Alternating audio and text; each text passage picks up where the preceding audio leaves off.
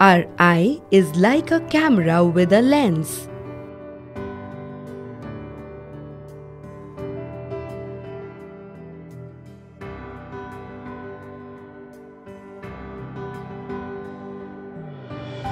The cornea focuses the light entering the eye.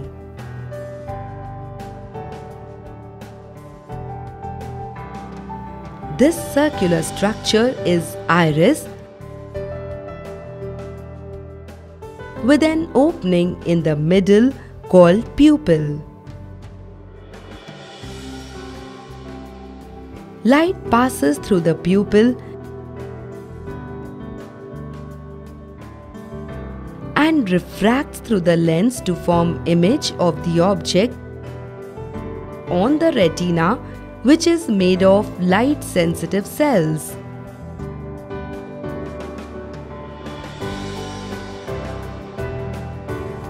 Light sensitive cells convert light energy into electrical signals and the signals are relayed to the brain through the optic nerves.